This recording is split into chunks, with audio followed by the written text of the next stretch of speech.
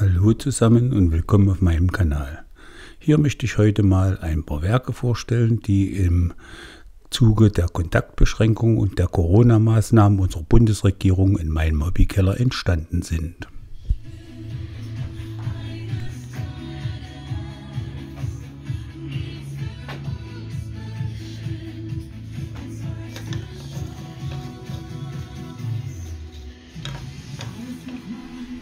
Das waren hier äh, vorgefertigte Teile, ausgesägt und äh, schon gebrannt.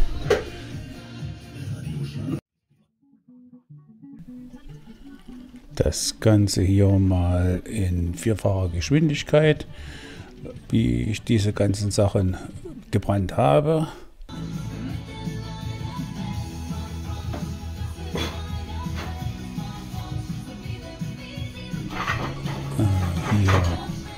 Tue ich Einzelteile, äh, die vorgezeichnet sind, noch einmal mit dem Lötkolben bearbeiten, um äh, die Kontraste besser hervorzuheben, denn einfach nur gezeichnet sieht ein bisschen blass aus.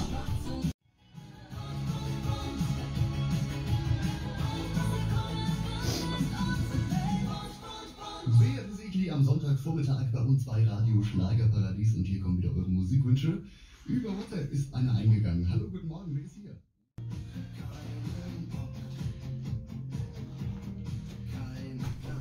Jetzt werde ich mit einem kleinen Schleifgerät, was aus der Flusspflege stammt, diese feinen Härchen, die entstehen beim Sägen mit der Stichsäge, entfernen, denn diese Fusseln, die sehen unschön aus.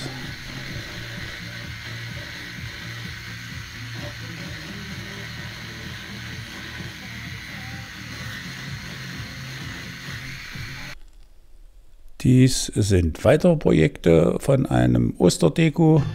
Wenn man sowas in der Familie einmal gezeigt hat, dann schreit jeder hier, will ich haben, will ich, will ich haben, will ich haben.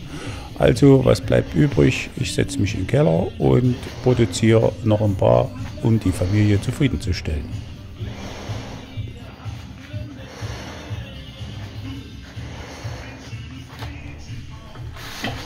Meine schwere Atmung kommt dadurch, da ich diese fertig zusammengebaut habe und gerade lackiert habe, welches man hier gerade so sieht.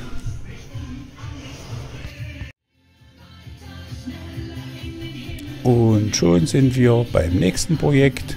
Meine Frau hat sich eine Weihnachtspyramide gewünscht und da ich meiner Frau selten was abschlagen kann, wird hier eine äh, große Waldpyramide entstehen die ca. 1,35 Meter hoch ist. Das sind schon die ersten Einzelteile, die ich hier zugesägt habe. Und äh, ja, so sieht man das, wie das so langsam Stück für Stück entsteht.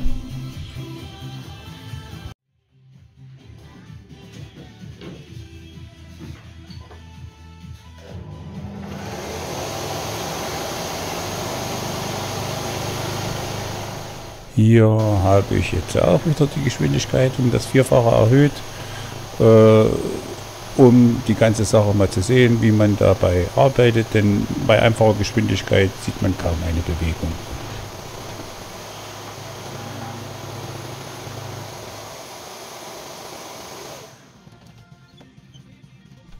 Da es eine sechseckige Pyramide ist, habe ich dann immer gleich äh, sechs Platten übereinander gelegt, um alles gleich mit einer Schablone zu schneiden. Hier musste ich noch einmal äh, aufstehen, um eine Bohrung nachzuholen, das Sägeblatt wieder einzuführen und die Außenausschnitte noch äh, zu machen. Die hatte ich vergessen.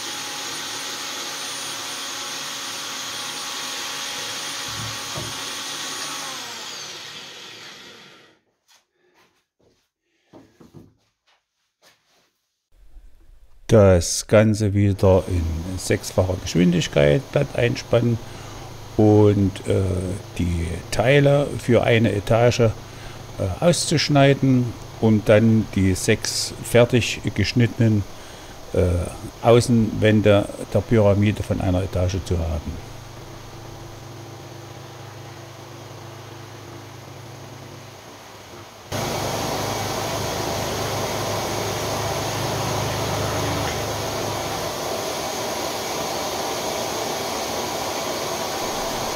Und so sieht das Ganze dann aus. Das entfernt den Außenrahmen und hier die sechs Teile vor sich hat, die dann nur noch fein nachbearbeitet werden müssen.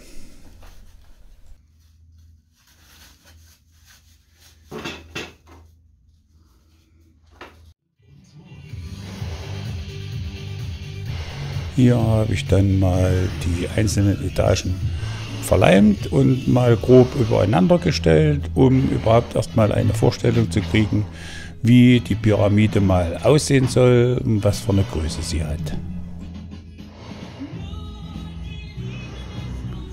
Hier habe ich auch wieder meine Maske auf, um die ganzen Schleifstäube und Klebedämpfe nicht so direkt einzuatmen. Aber ja, irgendwie muss man sich auch ein bisschen schützen.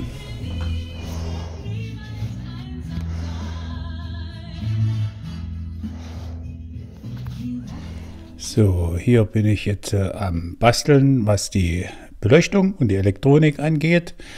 Äh, die einzelnen Abschnitte zu machen, die zwei untersten, die obersten. Hier habe ich sie mal zusammengestellt. Und so sieht das Ganze dann bei Tageslicht aus.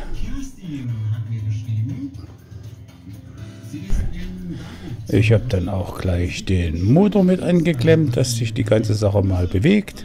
Hier sieht man, wie sich die einzelnen Teller der Etagen drehen und äh, ob das Ganze funktioniert, so wie ich mir das gedacht habe. Die ganze Sache wird mit einem äh, Langsamläufer mit drei Umdrehungen pro Minute angetrieben über zwei Zahnräder, äh, die schön ineinander greifen, sodass die ganze Sache auch äh, später mal demontierbar ist. Und dann musste ich auch mit Entsetzen feststellen, dass das irgendwie nicht schön aussieht mit dieser Mittelachse. Also Drechselbank ausgepackt, beziehungsweise mein Bohrständer umgearbeitet zum Drechseln und ich mache da gleich mal ein paar Zwischenteile.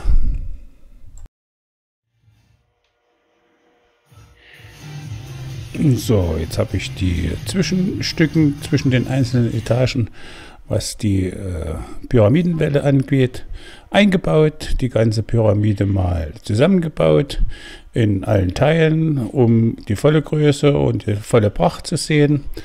Und ich muss sagen, ich bin zufrieden mit meinem Ergebnis.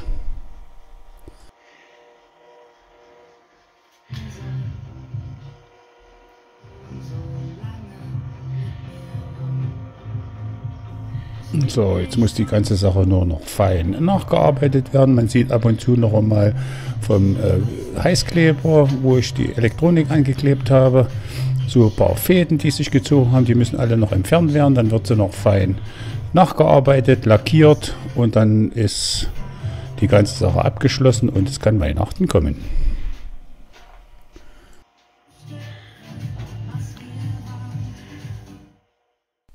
Im Abspann habe ich dann noch einmal die Aufstellung der Materialliste gegeben, was die ganze Sache kostet. Also ist nicht ganz billig der Spaß. Ich hoffe, es hat euch gefallen und bis bald zum nächsten Video. Motorradfahren oder basteln und tschüss.